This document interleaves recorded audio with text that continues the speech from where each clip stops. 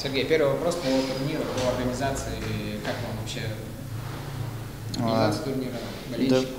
в принципе, неплохо, если смотреть, что это летний турнир, даже народ приходит, и это очень приятно. А, Единственное, немножко жарко, и туман на льду, и лед не очень хорошего качества, ну, это лето, и это Сочи. А вот именно концепция проведения турнира с учетом таких сильных соперников, я вот не припомню еще такого состава участников. Как вам кажется, насколько правильно? А, Да, я не знаю, в принципе, да, я думаю, хорошо играть всегда с сильными соперниками, потому что слабыми, наверное, ты меньше чему-то учишься. Чем вы сегодня Витю Тихонова накормили, что он так э, мощно провел матч? Я не знаю, может, он просто обрадовался, что сегодня играть будет пауэрплей, и поэтому э, такой результат, наверное.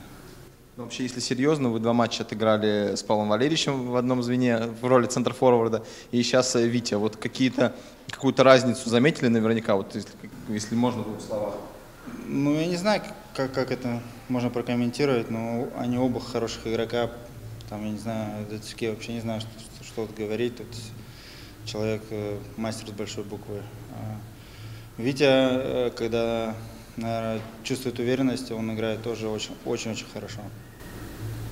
Олег, Олег Валерьевич сказал, что сегодня моделировал состав, как во время Кубка мира, когда уедут э, несколько лидеров. Он как-то перед матчем это обозначал, или сами поняли эту посадку состава?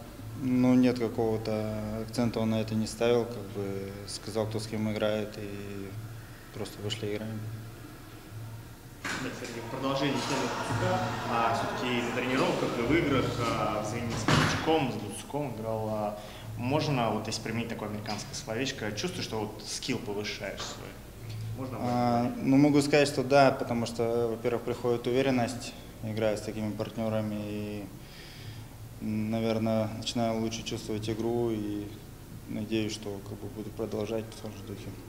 И по сезону КХЛ какие ожидания, кто, м, какого матча ждешь больше всего противостояния с кем?